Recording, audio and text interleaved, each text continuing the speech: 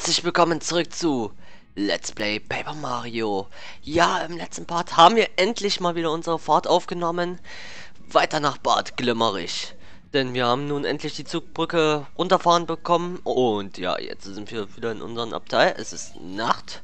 Also, das heißt, die meisten Passagiere schlafen wahrscheinlich. Ich weiß jetzt ehrlich gesagt nicht, ob wir irgendeinen Auftrag haben, weil es kam jetzt dann fast eine Woche kein Paper Mario Part mehr. Hatte mehrere Gründe. Einmal war ich krank, halt erkältet und dementsprechend auch nicht so die Lust aufzunehmen. Äh, und ein anderer Grund war halt auch noch ähm, bezüglich eines Minecraft-Servers, den ich noch habe. Aber ganz genau habe ich darüber in äh, Minecraft geredet. Der Part kommt auf jeden Fall noch denke ich. Ja, genau, der Part kommt noch.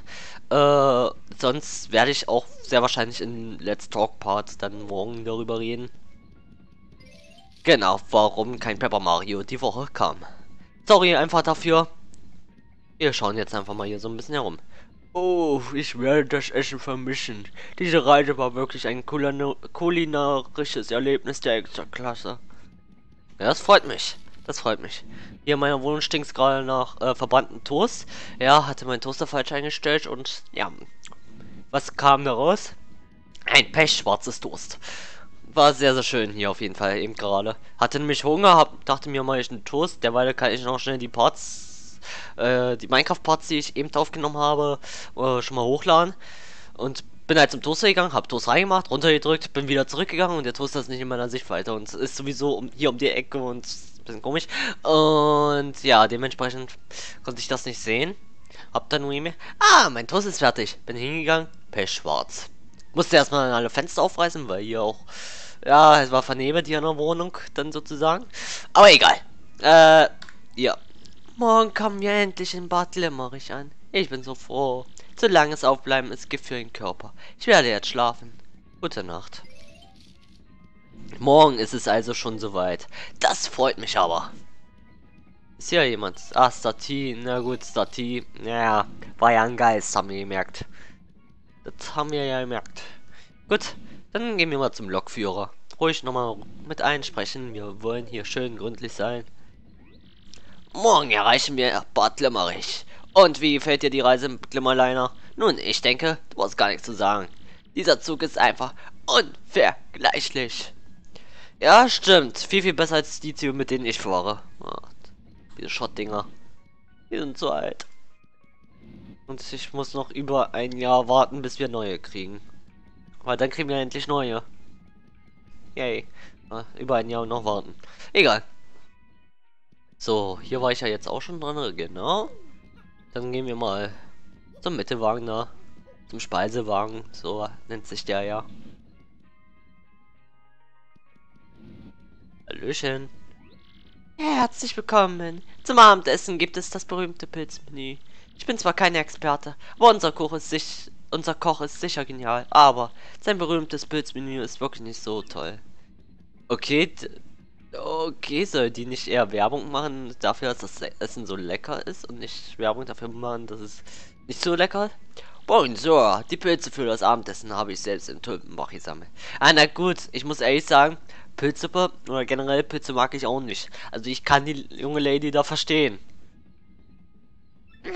Hm, ob die wirklich essbar sind? Nee, ich, ich will nicht probieren. Ich hasse Pilze. So, Itemladen ist geschlossen. Der Detektiv, der müsste ja hier sein, genau.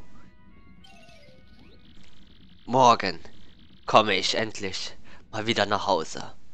Irgendwie freue ich mich. Aber jetzt ist es schon spät. Und du hast morgen viel vor, Luigi. Vielleicht sollten wir langsam zu Bett gehen. Theoretisch, ja. Soll ich mich da einfach ins Bett begeben? Ich will noch mit den anderen sprechen. Das muss sein. Guten Abend. Morgen erwarten mich wichtige Geschäfte. Ich habe alle Unterlagen nochmals überprüft. Bleibt nur noch morgen ausgiebig zu frühstücken.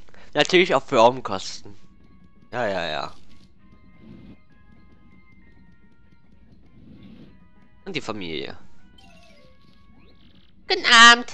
Weißt du, Papa und Mama, sie haben gesagt, sie kaufen mir eine Modelleisenbahn in Bad Limmerich. Ich freue mich so. Oh, Modelleisenbahn ist cool. Ich habe ja, damit ich persönlich, ja, mein Vater und ich haben eines, sagen wir es mal so. Wir haben beide viel Geld reingesteckt. Muss man auch, weil unendlich teuer. Wirklich schrecklich. Ich wusste ja gar nicht, dass Bronswood so fanat eine Eisenbahn ist. Bad Glimmerich werde ich ihm eine Modelleisenbahn kaufen. Sei gegrüßt, Bomber. Bronswood hat es mir erzählt. Du hast ihm gestern ein Autogramm vom Lokführer besorgt, nicht wahr? Wir werden ihm auch etwas schenken, worüber er sich sehr freuen wird. Ja, es ist nicht immer so, dass die Geschenke, die mit Geld gemacht werden, die besten sind. Guten Abend, Mario. Danke, dass du uns Tümpenbach geholfen hast. Genieße deine letzte Nacht an Bord und erhole dich ein wenig. Jo, wir gehen jetzt zurück in unsere Kabine. Wir haben mit allen gesprochen. Und dann werden wir mal so richtig schön durchschlafen. Das haben wir dringend nötig. Oder Mario, was denkst du? Es ist ja schon spät in die Nacht, bestimmt schon 0 Uhr durch. Äh, von daher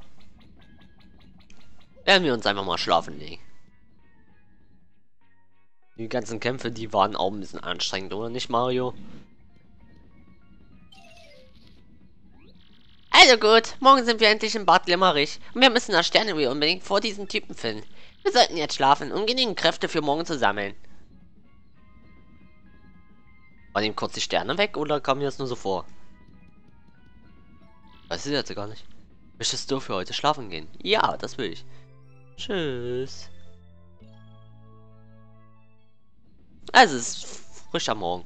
Dritter Reisetag. Und wieder ein neuer Tag. Und ein ganz besonders ruhiger und frischer Tag noch dazu. Yay, Sternenergie wurde auch aufgefüllt. Sehr schön. Wir sind doch super ausgerüstet. Äh, zu wem sollen wir jetzt gehen? Ah, eine Mail. Ist die wichtig? Nee. Sonst hätten wir sie automatisch geöffnet. Äh, Mail Receiver. Aha, Big Bomb. Okay. Ja, Headset. Vorhin in Minecraft auch schon. Tüt, tüt, tüt. Ich weiß immer noch nicht, ob ihr das hört. Egal. Also, äh, Leute. Äh, ihr kriegt jetzt mal die Aufgabe, weil ich zu dumm dafür bin. Ich bin viel zu bescheuert dafür. Schreibt mal bitte in die Kommentare, ob ihr dieses düt düt düt hört. Eben bevor ich das angesprochen habe. So ein düt düt düt. Halt so ein Piepen halt. Ganz laut. Ganz, ganz laut. Eventuell lauter als äh, bestimmt äh, genauso laut wie meine Stimme. Schreibt mal rein, ob ihr es hört oder nicht. Das würde mich brennend interessieren. Ich bin ja zu scheiße dafür, ich denke ja nie dran. Okay, ähm, gehen wir mal zum Lokführer oder wo sollen wir hin? Oder zum Detektiv? Ja, wir klappern jetzt äh, nochmal jedes Zimmer so ab, denke ich mal. Bis wir mal das Zimmer gefunden haben, wo irgendwas passiert ist. Guten Morgen, Mario. Ist heute nicht ein besonders ruhiger Tag? Was? An den Scheinen klebt Dreck? Alter! Ich glaube mal, hier bin ich richtig. Uah, was ist das denn? Git? Hey, das sind doch diese Gestalten von gestern aus dem Bahnhofskeller. Die haben sich an den Zug gehängt. Was? Kann man, kann man da machen? Zu, zu, zuerst müssen wir prüfen, wie es dem Fahrgästen geht. Ich, ich, ich halte hier die Stellung.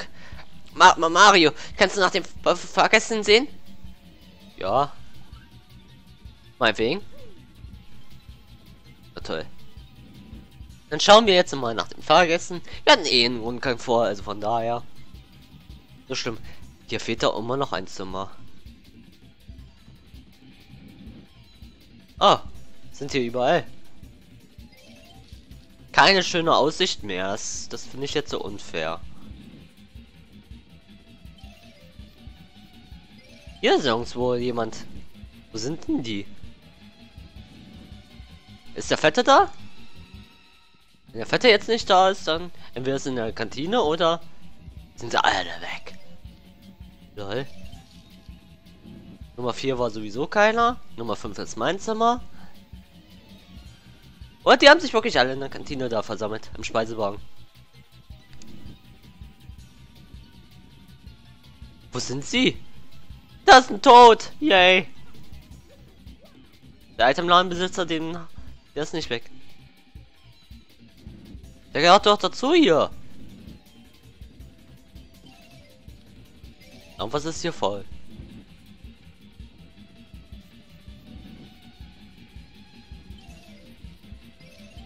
Es gibt nur noch ein Zimmer, wo sie sein können. Dieses hier. Okay. Jetzt wird's gruselig. Selbst der Zug Zugbegleiter ist weg. Können wir hier mal wieder rein?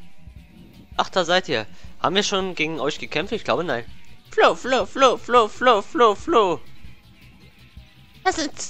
Die sind in den Zug eingedrungen. Schmeißen wir sie erstmal wieder raus. Ich nehme sicherheitshalber Gombrina, falls wir gegen die kämpfen, aber ich glaube, kämpfen brauchen wir gegen den. Genau. Das ist der erste, yay!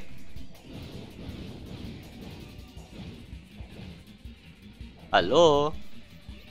Die haben den Zugbegleiter, schnell hilf ihn. Ja, hier. Alter, wie viele sind denn das?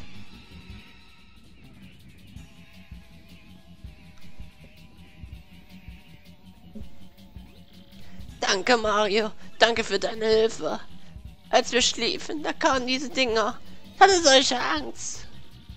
Die sind wohl durch die Fenster im Gepäckwagen eingedrungen. Sie haben noch immer viele Fahrgäste in ihrer Gewalt. Oh, die Armen. Keine Sorge, wir haben jetzt den Supersprung und somit kommen wir auch da hoch, wo ich damals geredet habe. Wie kommen wir denn da hoch? Ähm, Mario, mach mal bitte den Supersprung. Achso, ich drücke natürlich die falschen Tasten, da kann es ja nicht gehen. So, jetzt geht es doch schon besser. Und hier runter. Weiter geht es. Oh, wir sind draußen. Ist das hier eine Treppe? Ich glaube ja. Nee? Doch.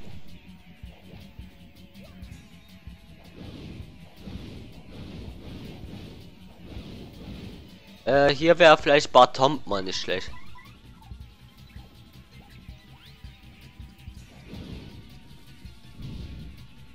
Ja, geht doch. Und nochmal.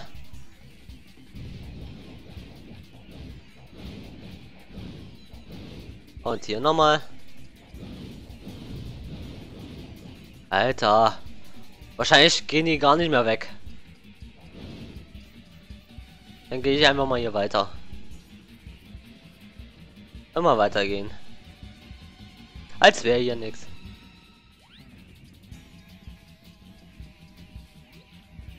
Flo. Ach toll, Scheiße, was passiert jetzt? Oh.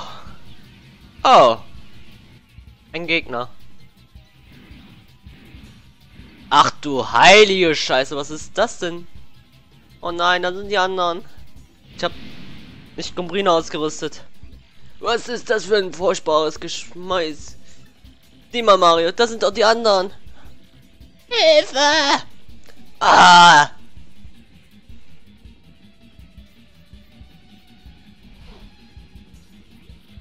Flo, Flo! Und jetzt kämpfen wir.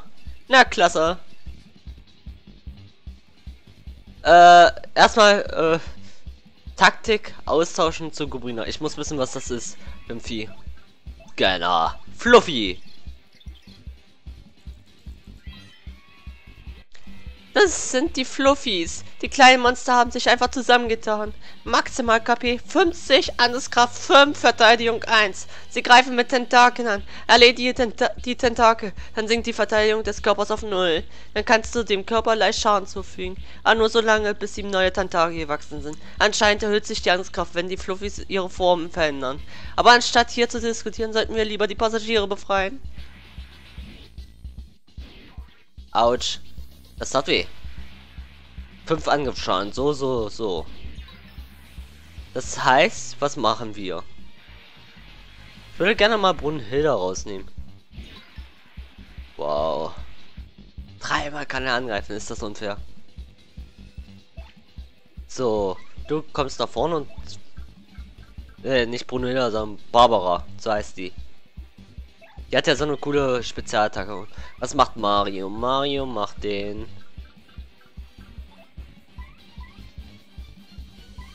Sprung. Den normalen Sprung, genau. Jetzt bist du hoffentlich drei Schaden oder zwei Schaden. Ja, immerhin. Ein Arm schon mal weg. Ist halt auch gut, weil... Dann greift er weniger an.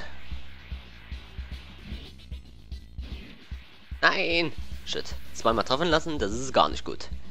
Äh, Feuerzauber. Drücke die angezeigten Knöpfe hintereinander. A, Y, X, X, Y. Ja, sehr gut. Weil mit einmal besiegt. Und jetzt kann er, können wir angreifen. Machen wir den Ultrasprung. Drücke Dings vor der Landung.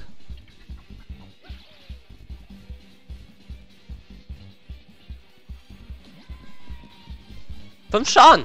Ja, gut, okay. Vielleicht hätte es besser gehen können, aber ich weiß nicht. So, Schattenhieb. Hoffentlich Feuerschaden. Komm, fang Feuer. Hat er Feuer? Nee, leider nicht. Da kann er jetzt wirklich gar nicht mehr angreifen. Das finde ich super. Multisprung. Nee, nicht Multisprung. Machen wir mal Schrumpfer. Das macht sogar 6 Schaden. Wow. Kann man dieser Ultrasprung? Irgendwie habe ich den falsch eingesetzt. Nein. Ich werde gleich nochmal hier diesen Feuerzauber einsetzen. Der ist eigentlich sehr, sehr gut.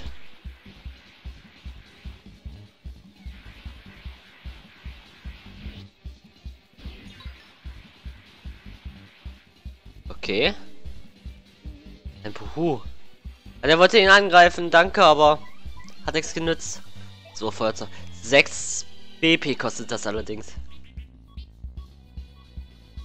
Oh, beinahe hätte ich es, äh, hätte ich beinahe am Ende auf Y gedrückt am Ende.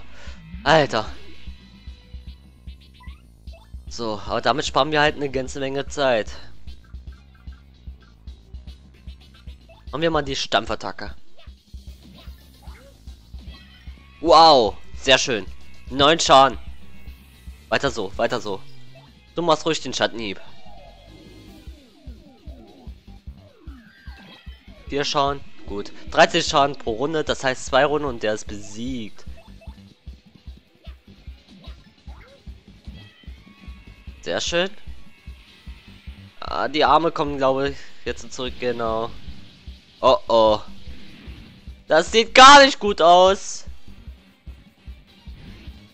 Wie viel Leben hat das jetzt? Ach du heilige verfickte Scheiße, ey. Oh, Alter. Das haut rein. Ist nochmal Feuerzauber. Das macht nicht genügend Schaden. Das ist das Problem.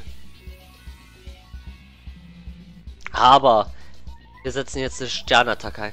Super fit. Fit KP und BP auf. Halt, Vergiftung und ähnliches. Das brauchen wir. Drücke. Jo. Wird wahrscheinlich wie das normale Fit sein.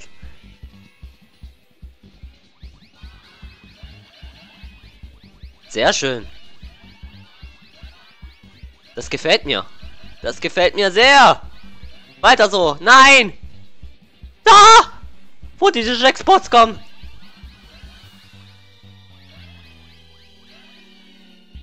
Ich bin damit zufrieden. Ich bin damit sehr zufrieden. Greift er zwar noch einmal an, aber...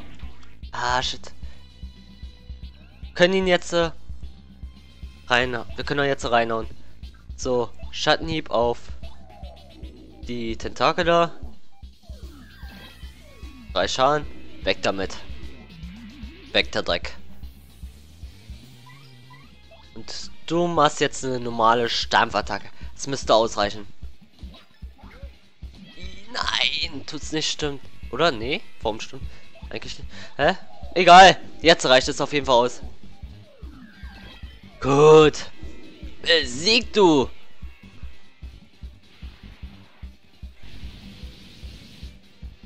Eine ganze Menge Sternpunkte. Level up. So gefällt es mir doch. Und an diesem Punkt geht es dann im nächsten Part weiter. Bis dahin und tschüss.